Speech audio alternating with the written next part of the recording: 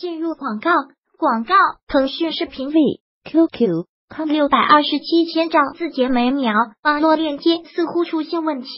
你可以刷新或使用兼容模式播放试试，使用客户端播放更稳定。立即下载错误码 X X X X。我要反馈，暂停。下一节零点一点三十二分直播，一点三十二分弹幕高清。今正好有比赛任务，俱乐部将所有球员征召回国，这也使得沙特队未能组成最强的 U 二幺队出战亚运会。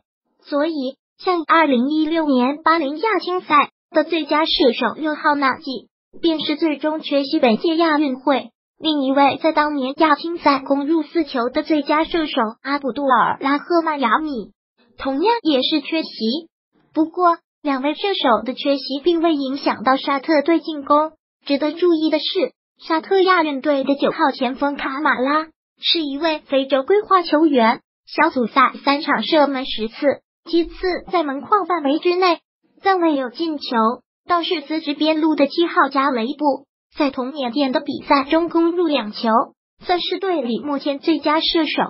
由于整支队伍平均年龄相比中国队年轻两岁，因而虽然整体实力不差，但就像马达洛尼所说的，是四个以第三名身份出现的队伍中实力最强的一队。不过，想要阻挡中国队前进的步伐。沙特队的希望恐怕不是很大。超轻七百二十匹，高轻四百八十匹，标轻二百七十匹，倍速零点五 x 一点零 x 一点二五 x 一五 x 二点零 x 倍速播放，在这里全屏。到腾讯视频观看此视频，下一个即将播放，取消广告广告。前瞻中国 vs 沙特。最强进攻强袭沙特，晋级即打破魔咒百分之五十、百分之七十五、百分之一百。零零二七三 C 零 G 二五播放模式，Chromeos 分辨率一九二零 X 幺零八零视频框高八四八 X 四八零音量百分之五十视频协议 HTTPS CD NAPD 二九四五 F 五二 C 四九二 FF 二三零幺九八 F 零零九九六四九五 ZHD。v s m t c d n s com 下载速度缓冲质量真属错误码版本号三点四点三七二零一八年八月二十三日十五点四十分十秒播放流水 f 九四零 b c 九一五 c 五四三二五 d 零一六零八八六 b b 八七四五 d b c 七零二零一本地日志点击下载点击清除腾讯视频观看完整版。前瞻中国 vs 沙特，最强进攻强袭沙特晋级及打破魔咒。按住画面移动小窗 x w i n d o w d a t a v i d e o a r r p u s h v u 零零二七三 c 零 g r 五 i m g h t t p news g t i m g 点 c o m news up l s 零四九六五九九零三六二六四零四八零零 deep 视频。前瞻中国 vs 沙特，最强进攻强袭沙特晋级及打破魔咒，时长约一分三十二秒。记者马德兴印尼雅加达报道：中国九五年龄段的 U 二三国足将在八月二十四日出战沙特队，进行亚运会男足赛八分之一决赛。这将是中国队能否实现保八争四底线目标的关键一仗。此番中沙之战也将是继一九九四年广岛亚运会之后，中国队与沙特队再一次在亚运会相遇。当然，尽管对手还是沙特队，但队伍情况已经完全不同。毕竟上一次遭遇是双方的全国家队，如今则是一支持九五年龄段队伍，一支九七年龄段队伍。U 二三国足预计首发张玉宁继续中锋雷世豪领衔最强攻击群。立足二零二零奥运预选赛，对中国足球而言，亚运会上历史最好成绩就是十九九四年的广岛亚运会。当时，齐武生率中国队历史性地闯入决赛，但遗憾的输给了乌兹别克斯坦，获得一枚银牌。而在那次亚运会上，中国队在小组出线之后，淘汰赛的第一个对手就是沙特队，只不过当时是沙特队正宗国家队。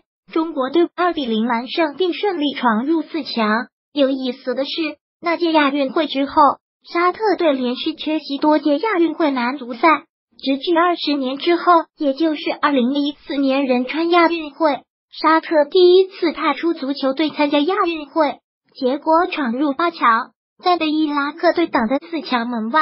不过，在沙特队重新决定派队参赛时，沙特足协开始着眼于未来，并以练兵为主，因为在二零一四年仁川亚运会。沙特队派出的是九三年零段队伍，而在当时亚运会足球赛规定的参赛球员年龄是九一年龄的球员，外加三名超龄球员。但沙特队启用的是准备二零一六年里约的奥运会预选赛的队伍，意图十分明显，就是为未来的奥运会预选赛进行练兵。这一次，沙特足协也是派遣的纯奥运年龄段队伍。参赛的二十名球员都是九七年龄段，而且没有招入一名超龄球员，这使得沙特队成为本届亚运会男足赛上三支纯奥运年龄段队伍之一。备注：另两支是日本与巴林。伊朗队则因有一名一九九六年出生的门将，其他球员全部为九七年龄段奥运年龄段队伍。接受记者采访时，沙特队主教练谢赫里称。我们之所以派遣 U 二幺的队伍来参加比赛，目的很明确，就是希望为球员们提供更多的正式大赛机会。我们的球员需要通过这种大赛进一步积累经验。我对我的球员是完全信任的。我曾经为二零一六年巴林 U 幺九亚青赛、二零一七年韩国 U 二零世青赛工作，对这些球员非常熟悉与了解。这支队伍将是沙特足球的未来。我丝毫不怀疑这一点。当我提出自己的构想时，沙特足协给予全力的支持。谢赫里说：“队员们需要更多的比赛经验，需要更多更有竞争力的比赛。我很信任他们。我们都知道，我们现在所有做的一切都是希望进军二零二零年东京奥运会。我们很清楚我们这支的最终目标与任务。对我来说。”看重的并不是这次比赛的成绩与名次，而是球员们在比赛中的表现。但很遗憾，我们在与朝鲜队的比赛中表现不是很好，输掉了一场不该输的比赛。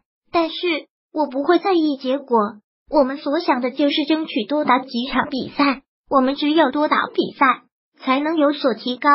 所以，如果能够在这次比赛中走得更远。我们的球员就会有更多的比赛场次可以去经受锻炼。当然，如果能够进入到决赛，意味着我们就有更多的比赛。我觉得，我们从现在开始到东京奥运会预选赛展开之前，所参加的每一场比赛都是非常重要的。谢赫里说：“经学缺阵，阵容并不完整。参加本届亚运会的沙特 U 二幺，应该说是一支非常成熟的队伍。”就像中国队主教练马达洛尼观看了沙特队录像之后所说：“我们看了他们的比赛录像，感觉到沙特球员的技术非常出色，身体虽然不是很强壮，但他们个人能力很强，能够很好的利用技术进行配合。尽管整支队伍都是九七年龄段的球员，但在我们阵中也有很多九七年龄段的球员。事实上是。”现在的这支沙特 U 二幺是谢赫里一手组建起来的。谢赫里曾随沙特 U 二零青年队参加一九九九年世青赛，尽管进入成年队之后表现一般，未有显赫的成绩，但退役之后重教，成为了沙特足坛中生代中的代表性人物。而且谢赫里在日常的训练中尤其强调体能训练，带队期间经常是一日三练。此前在备战亚青赛、世青赛期间，他便是如此讲学。此番率队准备亚运会，沙特队之前在捷克集训期间依然是一日三练，这也使得沙特队经常能够在比赛中显现出体能方面的优势。而在技战术指导方面，这支沙特队继承了以往沙特足球传统的风格，喜欢控球、传接配合。进攻中更是强调这一点。在这次参加亚运会的二十名球员之中，二零一六年夺取巴林 U 幺九亚青赛亚军共有十一人入选，参加了二零一七年五月 U 二零世青赛的球员，则有十二人入选。换句话说，现在的这支沙特队就是以巴联亚青赛队伍为班底组建。不过，这支队伍与年初参加在中国举办 U 二三亚锦赛的那支沙特队并不是同一支。那支沙特队是以九五年龄段球员为班底组建，只是吸纳部分九七年龄段球员，而且大多数九七年龄段球员都是替补。因为尽管有七名球员参加年初的 U 二三亚锦赛，但大多数都是替补球员，而且当时带队的主教练是阿根廷人。至于在去年十一月的都匀四国赛，中国队曾和沙特队有过交锋。中国队当时零比二完败，但在当时，中国队一共有六名球员上交国家队准备东亚杯，因此并未入选。再有，沙特队也不是这次参加亚运会的队伍，因而比赛的参考价值并不大。需要指出的是，在这一支沙特亚运队二十人名单之中，有九人来自沙特足坛劲旅阿赫利，相反，另一支劲旅希拉尔。则是未有一人入选，这与沙特国内足坛的矛盾存在很大关系。再有，豪门希拉尔队需要参加阿拉伯俱乐部冠军锦标赛，亚运会期